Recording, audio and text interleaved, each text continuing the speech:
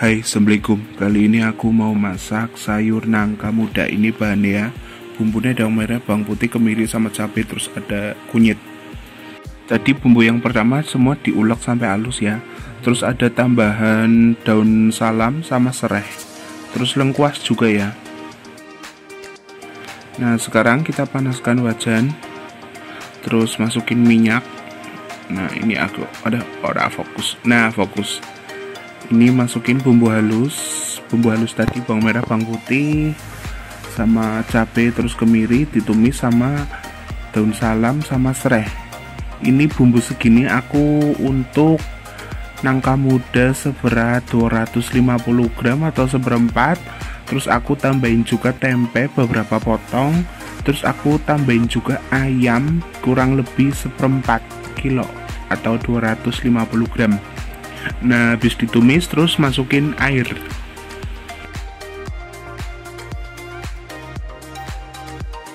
Masukin air agak banyak, nggak apa-apa ya. Karena untuk mematangkan nangkanya itu butuh waktu lama juga. Nah ini udah umep alias mendidih, kita bisa masukin nangkanya. Ini nangka muda aku beli di pasar, ini beli dalam keadaan masih mentah, belum direbus sama sekali. Jadi kalau di pasar itu ada yang udah direbus, ada yang belum kayak gini ya. Ini belum direbus sama sekali, makanya aku kalau belum direbus menyarankan untuk airnya dibanyakin biar mateng karena ngerebus nangka muda itu lama. Nah ini ayamnya aku masukin juga biar mateng juga, ayamnya mentah juga. Jadi nanti sama-sama matengnya rata. Ya,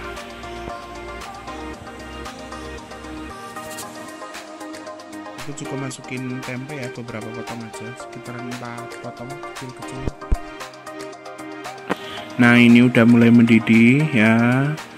Jadi buluk-buluk gitu. Kita masukin ada garam ada gula pasir terus ada penyedap juga.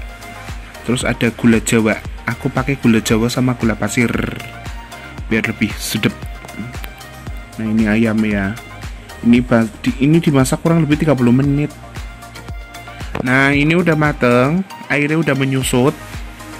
Habis ini aku masukin santan. Silakan kalau mau pakai santan silakan. Kalau enggak ya enggak apa-apa Tapi kurang gurih sama kurang kental. Jadi kalau enggak pakai santan itu kental Eh cair gitu ya Kurang kental. Makanya aku pakai santan Biar lebih kental Dan lebih gurih. Gurih enak gitu ya namanya sayur nangka itu kebanyakan sayur nangka itu pakai kak santan deh. Nah nanti setelah santannya mendidih terus mendidih 5 menit aja gitu udah matiin kompornya ini udah mateng. Jangan lupa kalau santan udah masuk itu wajib untuk diaduk terus.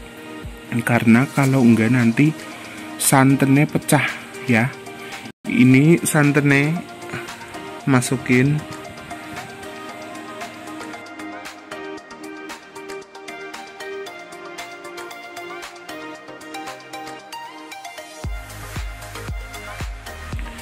Nah kayak gini ya kalau santan udah masuk itu harus dikutek-kutek terus. Nah itu mulai mendidih Ya.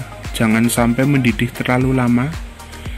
Oh ya ini bisa dicicipi ya atau ditusuk-tusuk yang paling utama adalah nangka muda nih ya. Karena nangka muda itu butuh waktu masak yang lama. Kalau nggak mau lama masak bisa di presto ya. Di presto tanpa santan dulu di presto habis itu nanti dibuka terus dikasih santan. Nggak usah ditutup lagi maksudnya nggak usah di presto lagi. Prestonya yang pertama aja gitu. Ya ini udah mateng nih udah buluk-buluk dan harus dikudek terus ya. Ini udah mateng.